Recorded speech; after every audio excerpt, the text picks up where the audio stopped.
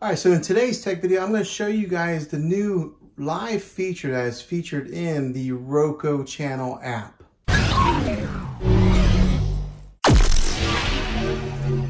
Okay, so what you want to do is you want to dive into the Roku channel app that's on there.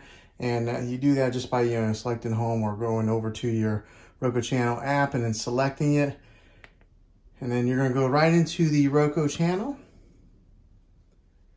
And the weird thing about this is the live TV feature is kind of buried in the Roku channel app. So once you get to the home screen here, you go to this feature tab right here and then just click over and then right there is the live TV channel guide.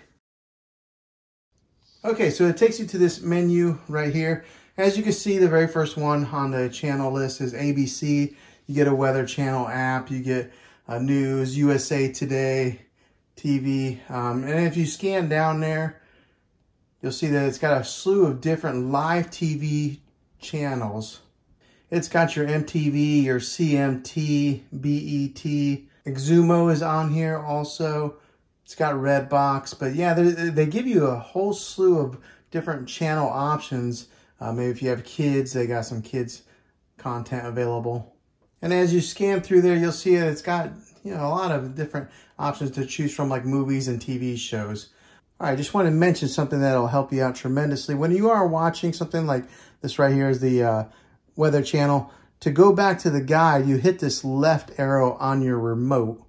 And when you do that, it brings up the guide again, so that way you can change channels. All right, so there's a quick little overview of the live feature that is now added onto the Roku devices. Hopefully this video was helpful. If it was, go ahead and throw a thumbs up on this. Go ahead and subscribe to my channel. I make tech videos all the time, and I'd love to have you back in the next one. Take care.